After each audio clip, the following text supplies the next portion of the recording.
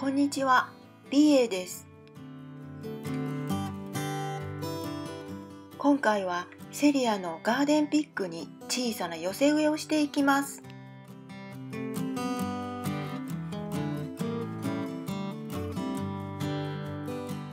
これは去年の春に寄せたもっと小さなじょうろです。雨ざらしの鉢の上に置いていました。下から根が張っているのかと思いましたが出ていませんでした。もう一つのこれは寄せ植えの木箱の背にかけてありました。どちらも底穴がなかったので穴を開けています。最後までよろしくお願いします。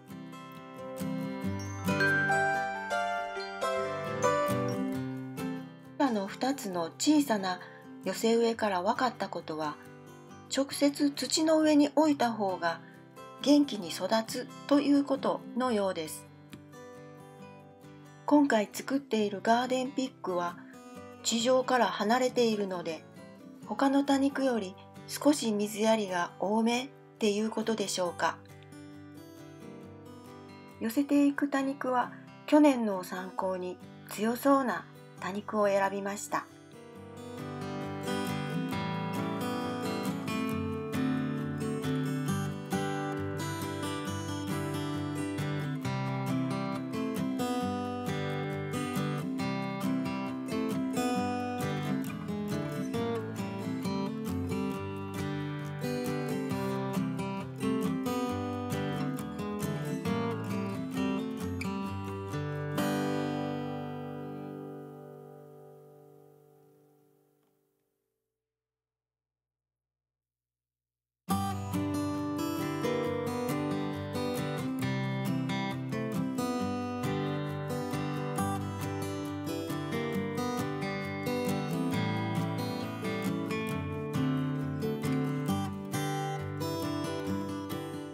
鉢をひっくり返して小さな底穴にピックを刺して立てて寄せ植えをしています。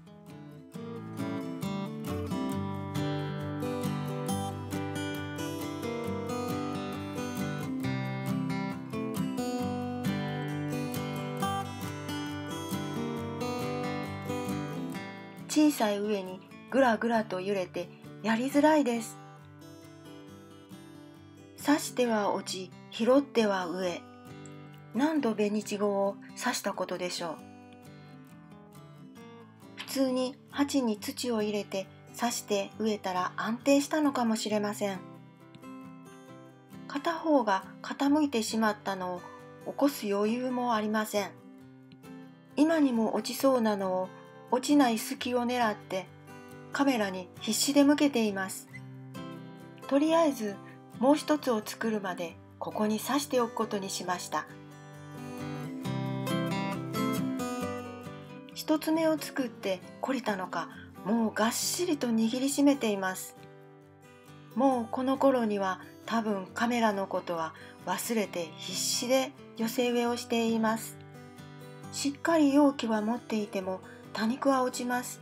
そして拾う刺す落ちるの繰り返しです。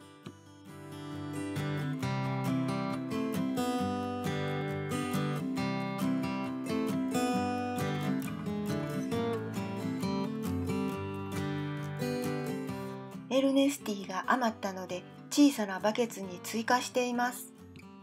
ピンセットで植えながら自立する容器は素晴らしいと思いながら植えているところです。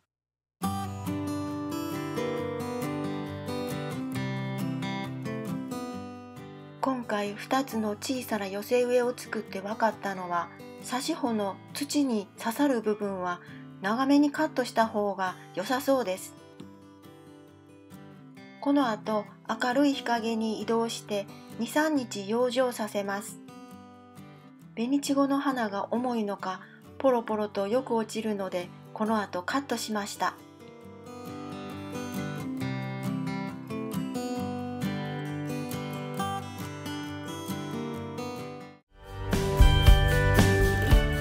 最後までご視聴いただきありがとうございます。この動画がいいなと思ったらグッドボタンを、ぜひチャンネル登録をよろしくお願いします。また次の動画でお会いしましょう。